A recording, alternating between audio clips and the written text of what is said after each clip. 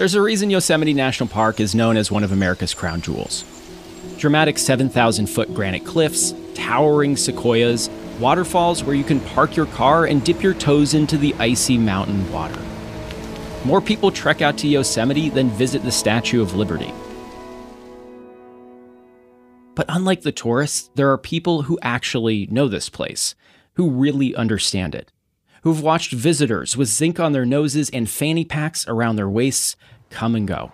For my sophomore year of high school, I worked at the ice cream and coffee corner in Curry Village.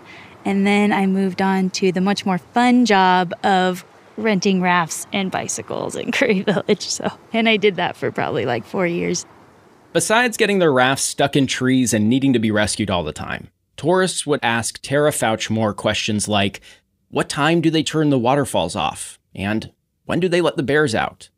She told me she chooses to laugh about it, but it's also kind of a tragedy. Tara's connection to Yosemite goes far beyond the concession stand and dealing with tourists on inner tubes. She's Southern Sierra Miwok, one of the original tribes of Yosemite Valley. Many of them were forced out about 170 years ago. When we met up with Tara, it wasn't at a concession stand. It was at a traditional Yosemite indigenous village that's being built at the foot of huge granite cliffs behind a covering of trees. Wahhoga Village. We are in the process of building the umachas, which are these conical structures that you see that were the homes, basically, of our ancestors. They're using cedar logs to build a ceremonial roundhouse. And nearby, there's a sweat lodge. It's a place that the tribe says it has worked some 40 years to get permission to build, and they're finally able to do it after getting approval from the park. There's much work to be completed, but um, eventually this will be a site. Sorry. Excuse me. Please don't take pictures of our roundhouse. It's it's okay. It's just it's for ceremonial use only. Thank you. Tourists walking by pop into Wahhoga because it sits just off the main road. And despite signs all over clearly saying no photos, Tara says they pretty much do whatever they want. In our tradition, we don't take pictures of our ceremonies. We don't take pictures of our roundhouse, and folks are constantly taking photos. This is the nature of having Yosemite be your homelands is it's it's full of people who come here to just really take in the awe-inspiring grandiosity of it all. But it also is a bunch of people who just don't get it. Tara thinks a lot about what Yosemite used to be like before tourists showed up, before the Europeans came, when tribes had autonomy over the land and could care for it. They were so involved, pruning dead wood off the black oaks so that they'd make the best acorns, pulling up saplings to stop forests from becoming overgrown, and using fire all the time to shape the landscape. So Yosemite looked completely different than it does today. And you can even see in some of the the older pictures from you know the early 1900s there's photos of the valley and the meadows are much wider much more widespread throughout the valley. And you look at the same viewpoint photo taken today there are views that that you can't see anymore that are just now completely blocked off either by the shrubbery or the saplings that have now grown into tall trees. There are also standing dead trees everywhere you look and it's that's in some ways a very natural part of life but it's it's the quantity of dead trees that you can just see as you're driving down the road. Like honestly if that was your home you'd be like somebody go clean it up.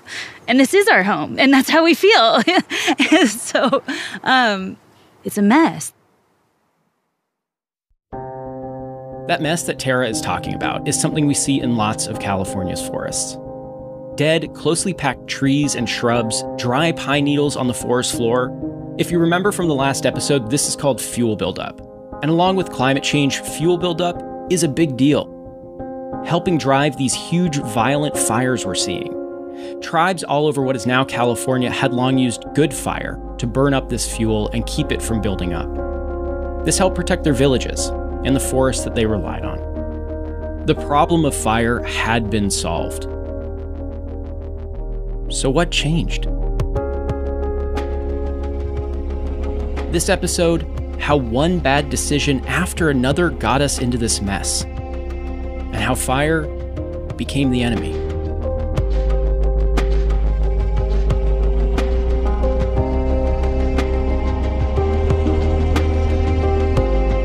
This is The Big Burn. I'm Jacob Margolis.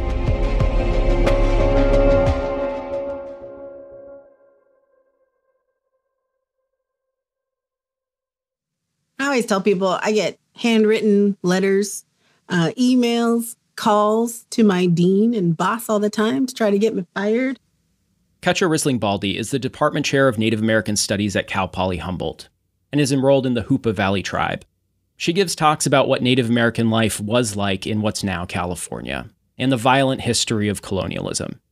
And talking about our country's violent history, it makes some people really mad.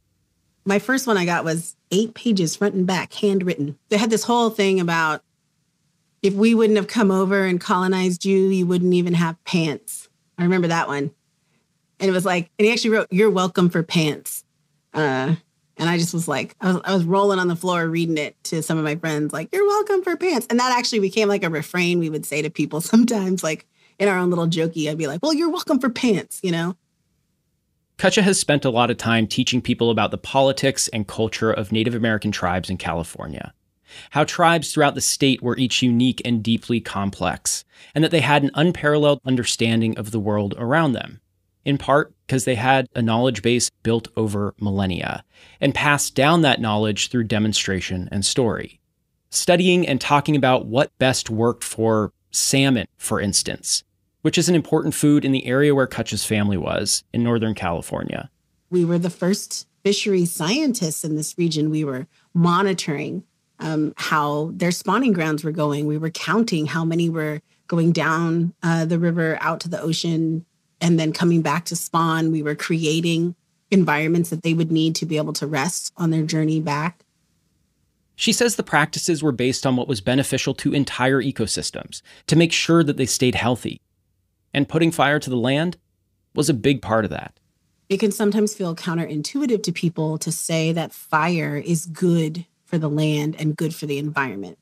We have been taught through sort of like a Western system of thinking that fire is is not good. We used fire to help the landscape to thrive. When you burn the landscape, it does a couple of really key things. Uh, it clears the understory so that you can make sure that there's not a lot of stuff piled on top of the ground that prevents things from growing or creates an environment where too many like bugs can thrive that might eat too many of the plants that then might prevent, you know, a deer or a quail or something from getting the things that they need. And they'd use it to open up meadows so that they had places they could hunt those animals. They'd burn to make sure that medicinal plants and basket making materials grew well. Like we talked about, they'd also burn to prevent larger fires. Because they knew big, destructive fires could happen if fuel was allowed to build up.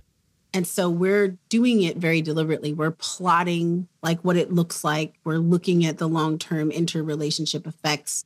We're seeing like the effects of like the last year's burning on this year and then planning for the next point. I think all the things that we would do right now or even that any fire scientist would do to determine is it beneficial to burn in this area or this area native people have always been doing. That's the kind of thought process that went into the work that we were doing to care for the landscape. I want to take a second to point out that fire has always been an important part of healthy ecosystems here in California. Not only would you have Native Americans maintaining land through burning, but lightning strikes would also ignite fires all over the place. And that doesn't mean destruction and death. For a lot of species, it means life. Like with the giant sequoias we talked about last episode, there are tons of fire adapted species all over the state that need fire to be healthy. Some of the most early Spanish explorers who came into the region, if you read their diaries, they talk about how much of California was on fire. They were not used to it when they would come into the region, but they were like, they're constantly burning, and there's always fires happening on the landscape. And I think that that was important to say that this was a consistent, all the time practice, and we were thinking about it very long term. And they continued to burn through different invasions. First, the Spanish and their missions, and then through Mexican rule. But then, the US took over and found gold. The rush to California started in 1849. In 1849, at the start of the gold rush, California's population of non native people increased by almost 300% in a single year. A westward tide that almost overnight pushed the frontier all the way to the Pacific coast.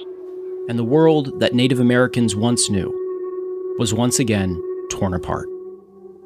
We refer to that period of time as invasion. Just a heads up. As you probably know, this history is violent, and we're going to talk about it. So, this next part of the story could be hard to listen to. You get a massive influx of primarily white male settlers who are coming into the region. And once they find gold, they'll do whatever it takes to get the gold. And it's very violent from the very beginning. It's actually pretty difficult to get giant gold nuggets. So they're finding ways to get at as much gold as they can. They are taking giant water cannons and they are spraying them at the mountains and cutting them into pieces, trying to get at the gold. They're clear cutting forests, they're destroying habitats for wildlife, and then they're removing native people from the different areas by in some cases, they're taking water cannons and spraying their villages off the sides of mountains. Native Americans are enslaved to mine for gold. Women and children are raped with impunity, seen as subhuman by the California government. In 1851, then Governor Peter Burnett says, A war of extermination will continue to be waged between the races until the Indian race becomes extinct. The state and federal government gave militias weapons, and paid them to kill Native Americans. And there's so many stories that you can tell about what that violence was like, including for Cutcha's family. Her great grandfather told her a story about a time before he was born, when settlers decided they wanted to remove people from their village in the mountains near Humboldt. Her great great grandmother lived through this. There was warning that the settlers were coming in the middle of the night to set the village on fire and drive the people out. And the story goes that his mother was there and she's woken up in the middle of the night and she wakes up the children in the village and she tells them that the people are coming and that they have to hide because there's no way that they can get away fast enough in order to escape. And so they take a sand pit and they unbury it and they put the children inside of it and they bury them in the sand with reeds in their mouths so that they can breathe through the reeds.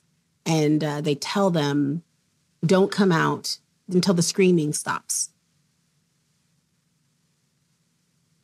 They would set the village on fire to drive people out. They would shoot people as they were running, or they would hit them with hatchets or knives. Sometimes there are stories about them taking babies and uh, swinging them around so that they would hit them up against rocks or taking a rock to hit them over the head. And it's difficult for me as a Native person sometimes to think about what is that like when you're a child listening to that, the muffled sounds of people running on top of you and the sound of people pleading for their lives as you're buried in the sand, waiting until that stops and then not knowing what you're going to come out to and then you're waiting to see is there anyone who survived? The children that survived were often sent to boarding schools, where they were brutalized and at times killed, especially if they showed any connection to their culture.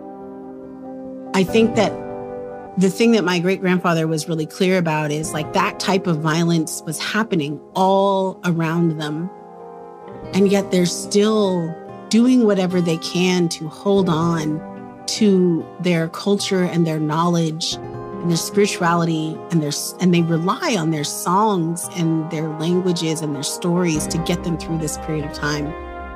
And that they didn't stop still singing and dancing and doing things because they were like this is what's going to help us get through what a lot of California Indian scholars call the end of the world when you're running for your life, when you are constantly worried that somebody's going to show up and, and shoot you, that prevents you from being able to do things like cultural burning.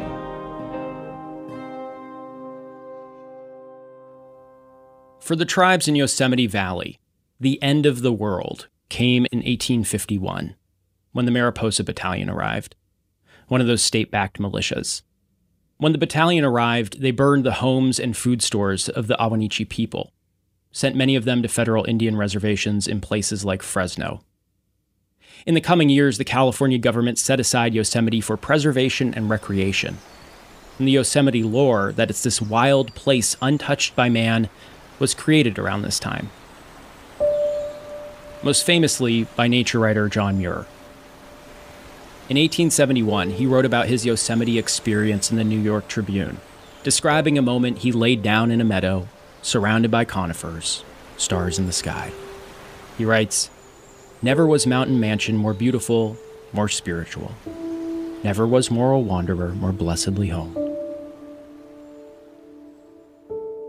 This story of a wild, untouched California, it erased everything Native Americans had been doing to take care of the landscape including setting fires and letting them burn. It was a story that changed everything. That's after the break.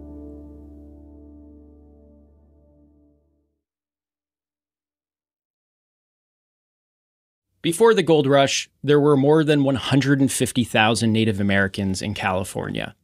Some estimates say that a decade later, there were as few as 17,000 about 10% of the population that had been there before. With Native Americans largely gone from their own land, they weren't able to take care of it. You can see in tree ring records that fire started to disappear from our forests around this time in the mid 1800s.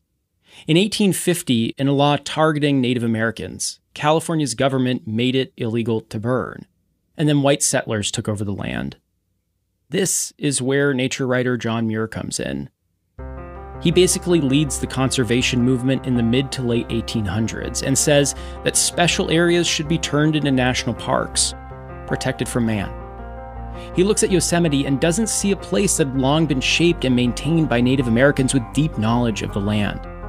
What he sees is an Eden, God's creation that needs to be protected from human hands. Writing that, through all the wonderful and eventful centuries since Christ's time and long before that, God has cared for these trees, saved them from drought, disease, avalanches, and a thousand straining, leveling tempests and floods, but He cannot save them from fools. Only Uncle Sam can do that. He wants the government to protect this place from the timber industry and from shepherds. And in his writings, he also advocates for removing fire from the land, calling it the arch destroyer and the great master scourge of our forests. Muir wasn't alone in seeing fire as the enemy. The use of fire was seen as a, as a measure of primitivism. It was a stigma of a, a kind of pre rational uh, society. Fire in a candle, fire in a hearth, okay. Uh, but fire on a landscape, no. Uh, you don't have control over it in the same way. Stephen Pyne is a fire historian who's written over 20 books. He's the kind of guy who considers obscure records light reading, and he's done a lot of thinking about how we started to see fire as a menace to be tamed. He says the government wanted to control landscapes across the West, and fire was seen as uncontrollable. By the late 1800s, after years without good fire, the forests of Yosemite grew denser and fuel started building up. Pyne says people noticed that the landscapes were changing. The visitors to the valley can't see uh, the falls and, and cliffs for all the forest that's grown up. It's, it's no longer open. And at the time, this was celebrated. See, we've succeeded. We've stopped the ruination of these forests and now we are creating a new forest that our children and grandchildren uh, can have. Well, the children and grandchildren have looked at that forest and realized they're helping to power a new wave of megafires. This new wave of megafires is not just the result of stopping man made fire. It's also because for the past 100 plus years, we've been working to put out just about all fires, including those started by lightning. That level of fire suppression had never been seen here before. And we've been able to do that because we've spent the last century building up an anti fire war machine. It started in 1905 with the creation of the U.S. Forest Service. This new federal agency didn't have an understanding of what Western forests needed, and they didn't really care to learn from Native Americans who'd taken care of the land for generations. One of their top priorities was preventing fires from starting and then putting them out quickly. Their first set of rules literally said that fighting fire is a forest ranger's most important duty. Fire was a threat to new towns being built up in the western United States, and it was a threat to a precious resource timber. But when the Forest Service was created, they didn't have the resources to fight fires all across the West. Not enough people or equipment. Then came the big blowup, or the Big Burn of 1910. So imagine this it's a time of great expansion. Settlers are building towns, harvesting timber. The nation's newly built railroad system is ferrying logs and people all over. Which is relevant because the wheels on the tracks and their smokestacks throw sparks, which often ignite dry trees and debris nearby. As Stephen Pyne told us, fire follows the railroad.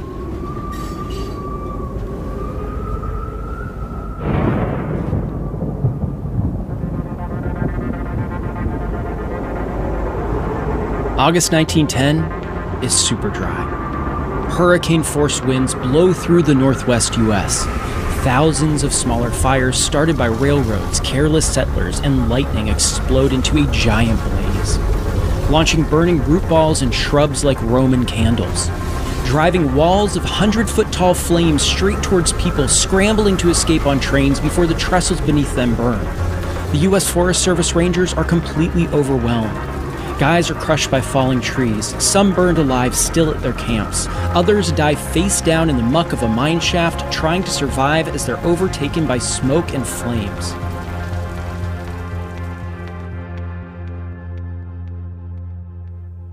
The fire burns 3 million acres in just a few days. It kills 86 people and destroys enough timber to build 800,000 homes. The U.S. Forest Service, whose mission is to protect against fire, had failed. Stephen Pyne says the Forest Service firefighters who lived through the Big Burn were changed by it. The next three chief foresters were all personally on the fire line as young men during that firefight. And for them, it was a kind of Valley Forge or Long March experience. It, it branded that entire generation. They were determined it would never happen again. The following year, with the big burn in the rearview mirror, Congress empowered the federal firefighting apparatus. The U.S. National Forest Service was allowed to go way over its budget, getting the money they said they needed to solve the problem of fires. And the irony, in the long run, this obsession with fire suppression made everything much, much worse. That's after the break. So it's the 1920s. And the US Forest Service is saying, we can beat fire with enough force. They're pouring money into professionalizing firefighting, developing fire prediction services, building lookouts, doing research into fire retardants.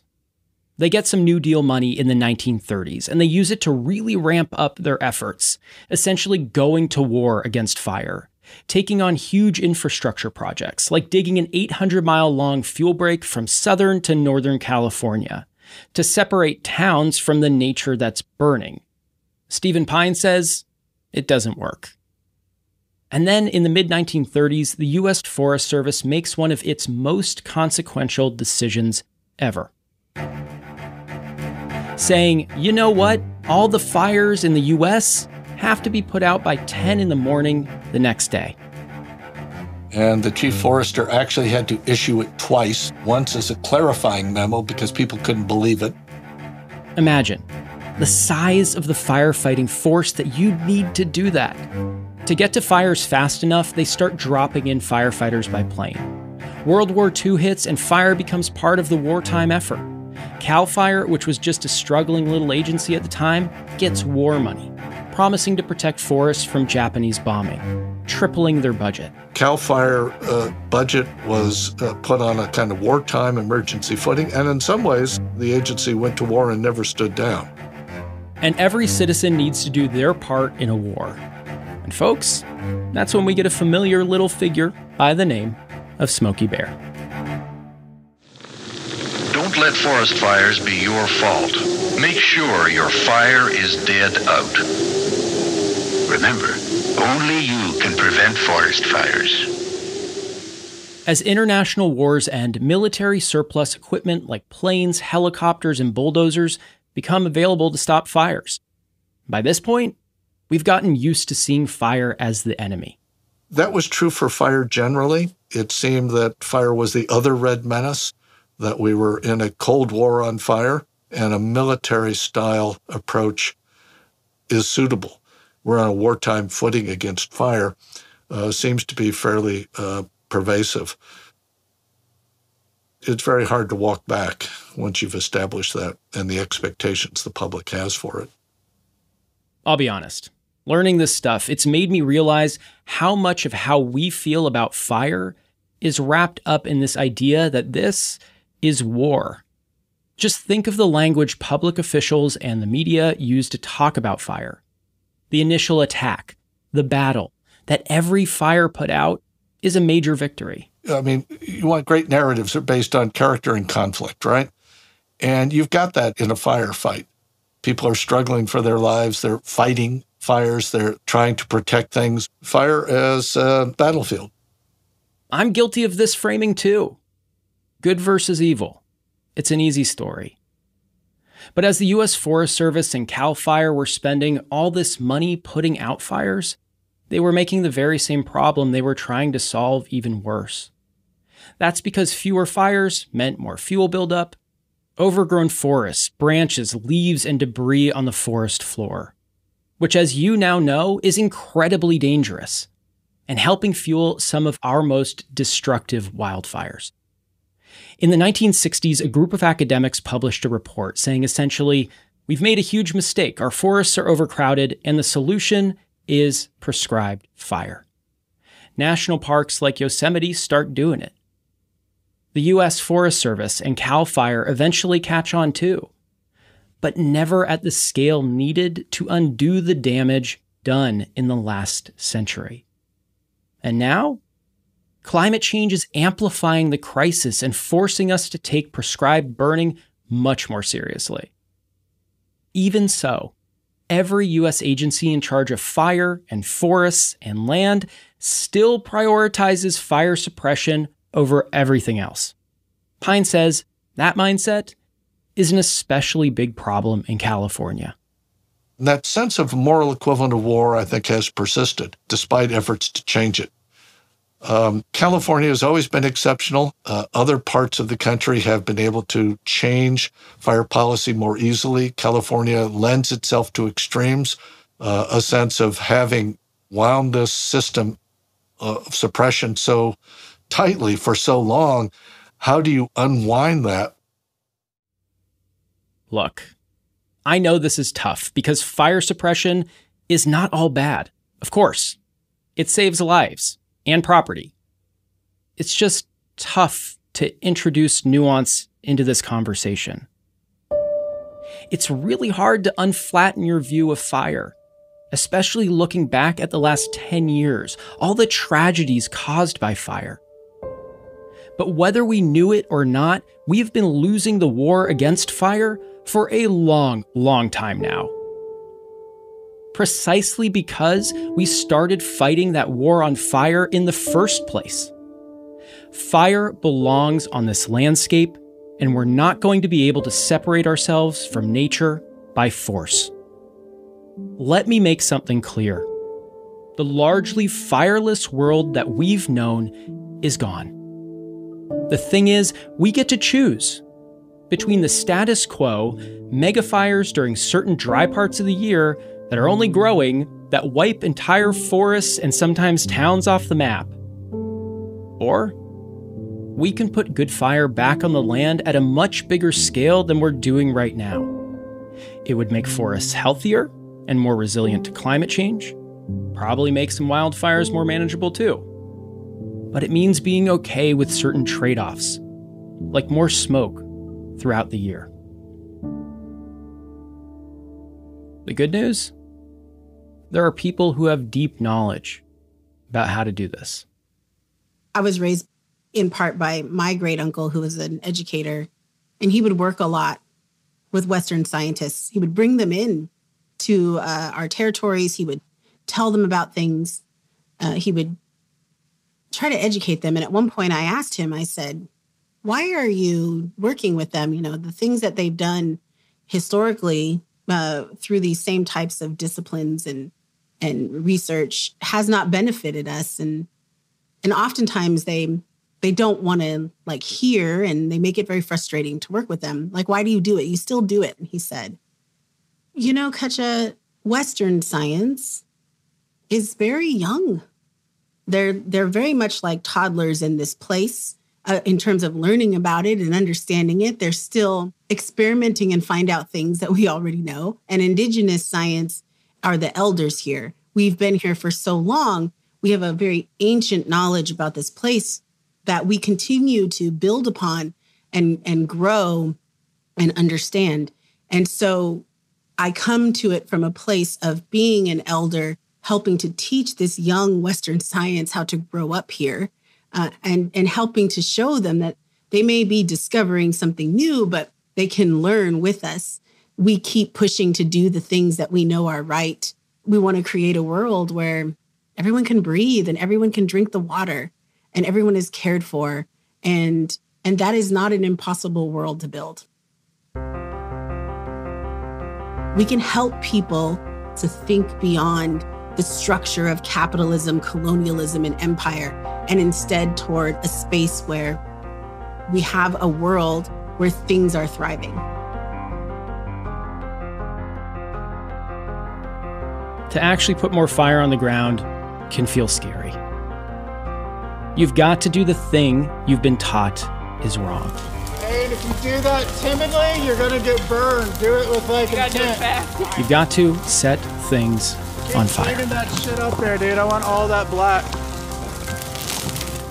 That's next time on The Big Burn.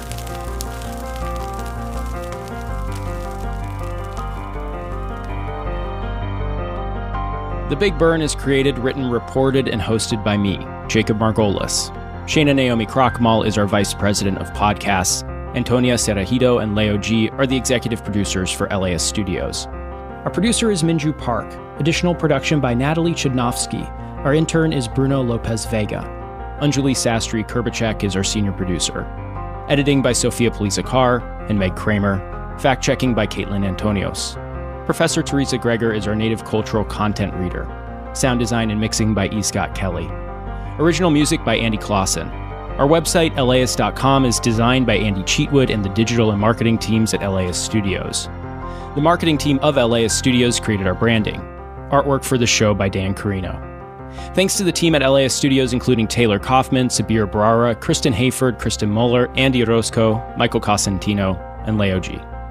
Support for this podcast is made possible by Gordon and Donna Crawford, who believe that quality journalism makes Los Angeles a better place to live. The Strelo family and the Corporation for Public Broadcasting, a private corporation funded by the American people. The Big Burn is a production of LAist Studios. Subscribe wherever you get your podcasts.